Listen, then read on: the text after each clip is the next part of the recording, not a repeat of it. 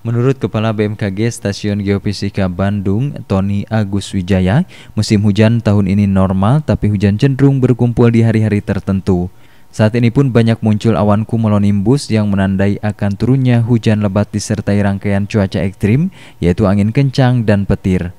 Masyarakat pun diimbau untuk mewaspadai keberadaan awan cumulonimbus yang berbentuk gelap dan berlapis. Tony menambahkan umumnya awan cumulonimbus bertumbuh di perbatasan antara pemukiman padat dan tidak karena adanya perbedaan suhu permukaan. Tapi hujan dengan cuaca ekstrim yang ditimbulkan biasanya kurang dari satu jam. Tony pun menyatakan di musim hujan saat ini jika pagi cuaca cerah, siang hingga sore berpotensi hujan lebat ekstrim.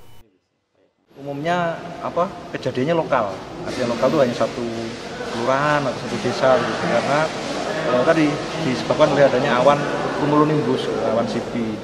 Nah, sehingga tentunya masyarakat perlu lebih hati-hati, perlu lebih waspada lah kalau ada apa namanya awan yang gelap berlapis tuh awan cumulonimbus namanya.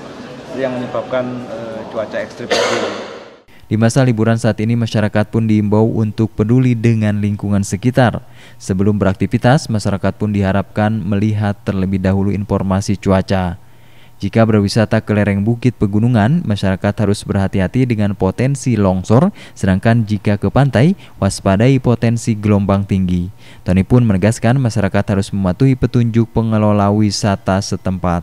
Budi Hartati, Bandung TV.